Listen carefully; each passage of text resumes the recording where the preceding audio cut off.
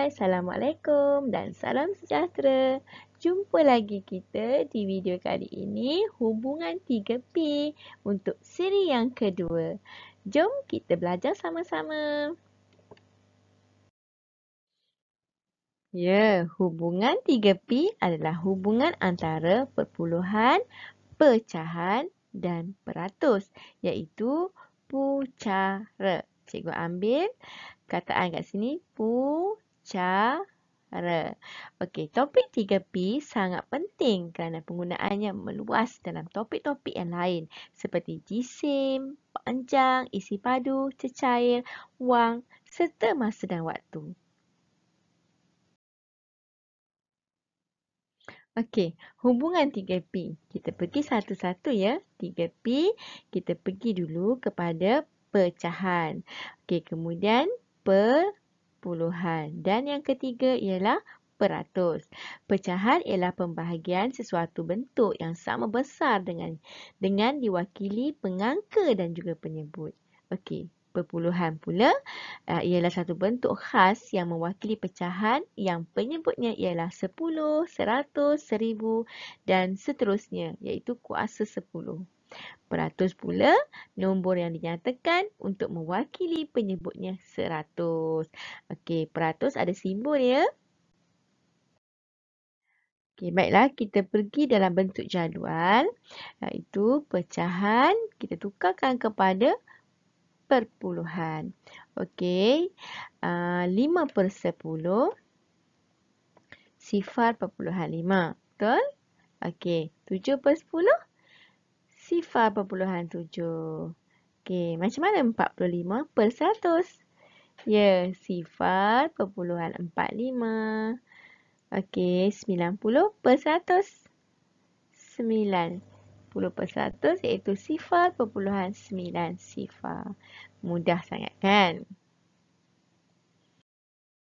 Okey, seterusnya. Contoh seterusnya, pada perpuluhan, kita tukar pada pecahan. Terbalik pula. Okey. Sifar perpuluhan satu, satu per sepuluh. Sifar perpuluhan dua, dua per sepuluh. Tapi, kalau dalam pecahan, ingat, kita mestilah beri jawapan dalam bentuk yang termudah. Jadi kita permudahkan. Okey, kita dah belajar cara nak mudahkan. Jadi jawapannya ialah 1 per 5.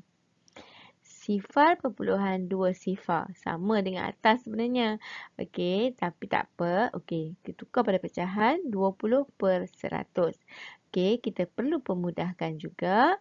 Okey, sama dengan yang atas ni. Jadi jawapannya ialah 1 per 5. Okey, kemudian sifar perpuluhan lima sifar. Okey, tukar pada pecahan dulu. Kemudian kita permudahkan jawapannya. Kita, kita dapat, okey, satu per dua. Okey, contoh seterusnya. Pecahan kepada peratus pula. Okey, dalam jadual kotak ini. Satu per dua sebelum kita nak tukar pada peratus, kita mestilah jadikan dia ingat bawah dia penyebutnya ialah per seratus. Okey, kita tukar. Jadi, 50 per seratus.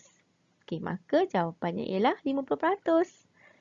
Okey, pecahan 7 per 10. Tukar yang bawah kepada per seratus. Okey, cikgu dah harap cikgu akan dapat 70 per seratus. Jadi, senang kerja kita. Jawapannya ialah 70%. 45 per 100. Kita permudahkan. Jadi 45 peratus. 90 per 100. Ya, 90 peratus.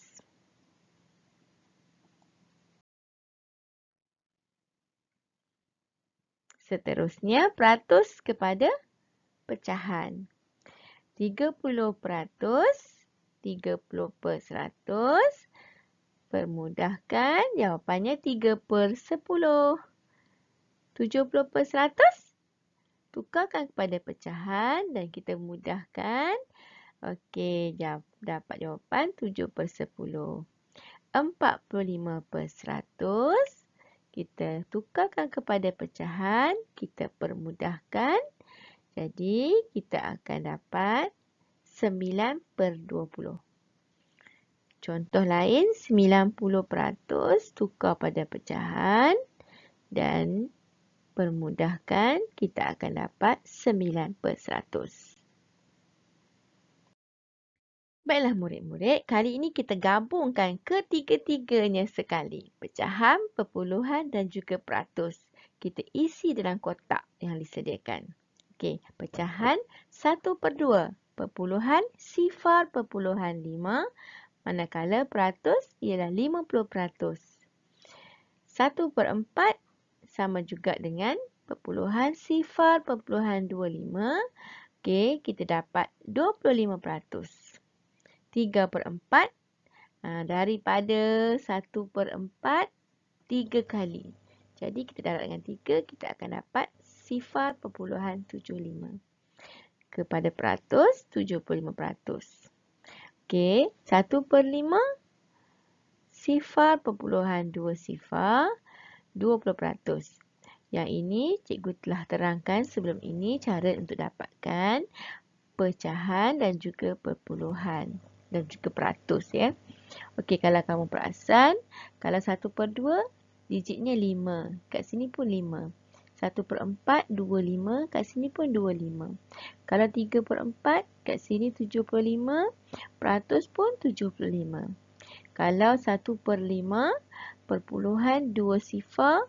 Dekat peratus pun 2, 2 sifar.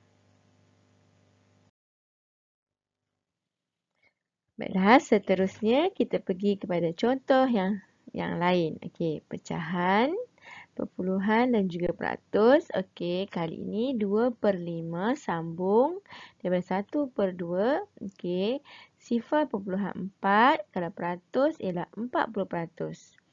3 per 5 sifar perpuluhan 6 sama juga dengan 60 peratus. 4 per 5 kalau kamu tengok kat sini penyebutnya 5, 5. Okey sama. Jadi kalau 2 per 5 sifar puluhan 4. 3 per 5 sifar puluhan 6. Okey 4 per 5 tambah lagi sifar puluhan 2. Jadi sifar puluhan 8. Okey 80%. Okey untuk per penyebut yang 5 sampai 4 per 5 saja. Okey kini 1 per 10 pula. Okey, 1 per 10 sama dengan sifar puluhan 1 sifar. Ataupun sifar puluhan 1. Okey, tukar pada peratus ialah 10 peratus. Okey, kita sambung tadi uh, 1 per 10. Kini 2 per 10. Sifar puluhan 2, 2 per peratus. 7 per 10, sifar puluhan 7, 70 peratus. 9 per 10 sama dengan sifar puluhan 9 iaitu 90 peratus. Baiklah, seterusnya kita pergi kepada penyebut uh, yang penyebut per 8.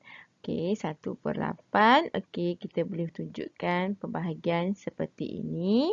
Kalau kamu dapatkan um, nilai perpuluhan, jadi cikgu telah bantu kamu untuk mendapatkan nilai perpuluhan. 8.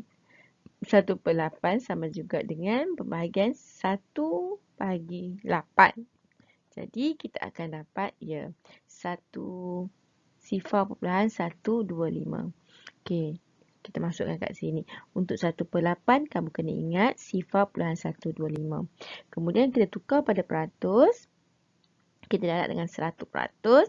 Gerakan 2 kali gerakan sebab 2 sifar. Okey, jawapannya ialah 12.5. Begitu juga dengan seterusnya. 3 per 8. Okey, di sini cikgu boleh tunjukkan kamu. Uh, sifar perpuluhan 125 darab dengan 3 sebab sini kat 3 kan. Okey, kamu akan dapat sifar perpuluhan 375. Darabkan dengan 100% untuk tekan dapat dapatkan peratus. Okey, jadi jawapannya 37.5%. 5 per 8. Okey, sifar perpuluhan 625. Kemudian tukar pada peratus, kita akan dapat 62.5%. 7 per 8 sama juga dengan perpuluhan sifar puluhan 875 darab dengan 100% untuk dapatkan peratus jadi 87.5%. Okey, kamu boleh hafal uh, nombor-nombor yang tertera kat sini mewakili pecahan, perpuluhan dan juga peratus. Baiklah murid-murid, mari kita lihat contoh soalan. Okey, contoh satu. Okey, dalam pecahan, cikgu berikan satu per dua. Kamu tukarkan kepada perpuluhan. Okey, bila tukar pada perpuluhan, ingat penyebut dia mestilah per sepuluh, per seratus atau per seribu. Jadi kat sini cikgu nak darab dengan lima sebab boleh tukar jadi penyebutnya sama dengan lima per sepuluh. Kemudian kita tukar pada perpuluhan sifar perpuluhan lima. Itulah cara untuk kita dapatkan jawapan. Okey, manakala untuk peratus, ya, 5 per 10, kita tukarkan penyebutnya 100 peratus. Jadi, jawapannya ialah 50 peratus. Ini contoh pertama. Contoh kedua. Pecahan 1 per 5 tukarkan kepada perpuluhan masih sama sama sama uh, jadikan penyebutnya per 10 kemudian mudah untuk dapatkan sifar perpuluhan 2 okey kemudian kada peratus ingat penyebut dia bawahnya ialah 100 peratus okey kita akan dapat 20 peratus contoh ketiga perpuluhan pula. Sifar perpuluhan lima. Okey, tukarkan kepada pecahan. Okey. Lima, sifar perpuluhan lima ialah lima per sepuluh. Ingat, pecahan mestilah jawapan yang termudah. Jadi, kita mudahkan dia. Kita akan dapat satu per dua. Okey, kalau nak tukar pada peratus, kita ambil yang ini. Jadikan penyebut dia per seratus. Kita darab. Ha, jadi, jawapannya lima per per 100 sama juga dengan 50 peratus. Contoh yang keempat. Perpuluhan sifar puluhan 25 tukarkan pada pecahan penyebut 100 ah, kan. 25 per 100. Okey, kita kena mudahkan. 5 per 20. Cikgu bahagikan 5 kat sini. Okey, tapi kat sini jawapannya masih lagi boleh dibahagikan. Jadi, bahagi lagi sekali dengan 5. Okey, kita akan dapat 1 per 4. Sebenarnya kalau kamu nampak, kamu boleh terus sahaja bahagikan dengan 25. Okey, jawapannya sama. Okey, kemudian kita tukar pada peratus. Ah, ambil yang ini untuk mudahkan kerja kita. 25 per 100 sama juga dengan 25 peratus. Baiklah, contoh yang kelima, kamu boleh tengok sama juga peratus. Uh, 40 peratus, kita nak tukarkan kepada pecahan. Kita tukarkan pada pecahan dahulu. Okey, kemudian kita dapat 40 per 100 kita permudahkan dapat 4 per 10 potong sifar kat sini kan jadi kita permudahkan dia kita akan dapat 2 per 5 Okey, daripada peratus pecahan kita jadikan perpuluhan pula. Okey, kita nak ambil yang mana? Kalau ambil 2 per 5, kita kena tukar juga. Jadi, kita ambil 4 per 10 ataupun 40 per 100 pun boleh. Jadi, mudah sahaja sifar perpuluhan 4 contoh seterusnya. Contoh yang keenam. Okey, 80%. Kita tukarkan kepada pecahan 80 per 100. Okey, cikgu nak tukar pada pecahan kat sini. Okey, bawa sini. Uh, kita permudahkan dia. Potong sifar 8 per 10. Permudahkan pula. Kita dapat 4 per 5. Jadi, perpuluhan